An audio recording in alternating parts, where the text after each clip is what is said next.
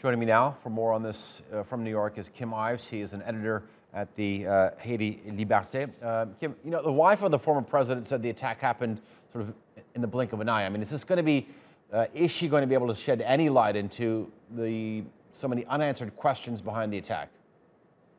Right. The big question now is was it his security corps itself that killed him, or was it the uh, Colombian mercenaries who have been captured? Uh, the original story was it was the uh, latter. But uh, the fact that the coroner's report said that he had a gouged out eye and was shot 12 times suggests there was some animus in the killing, and that probably wouldn't have been done by a mercenary corps whose job was to make a hit. So uh, there's been a lot of questions, and um, there's a lot of rumor on the uh, social media networks that um, it was uh, the corps, or uh, particularly the head of the corps, a certain Dimitri Hérard, who uh, killed him.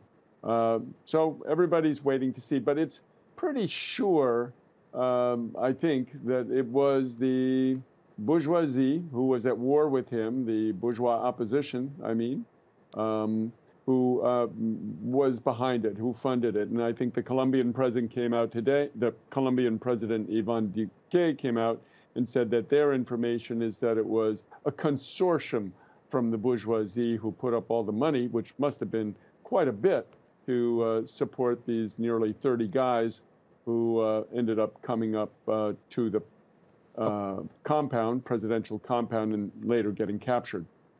Kim, tell me this. Uh, what's next for the country after, after this assassination?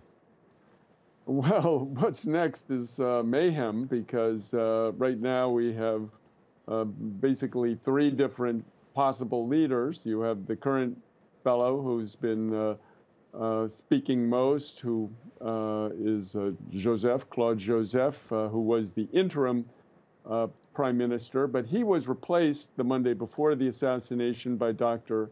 Ariel Henry, who is also claiming to be the uh, genuine uh, prime minister. And now we have a president being nominated by what remains. In fact, there, that only, there are only 10 elected officials in the country now after Jovenel's uh, assassination. He made it 11, but it's, those are the 10 senators that remain.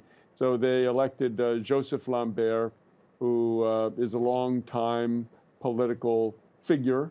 Uh, I could even use the word maybe crusty, uh, who is um, uh, now being proposed by them to be the president of Haiti. What is certain is that the political crisis in the country could sharpen. All right, Kim Ives, live for us from New York. Thank you very much.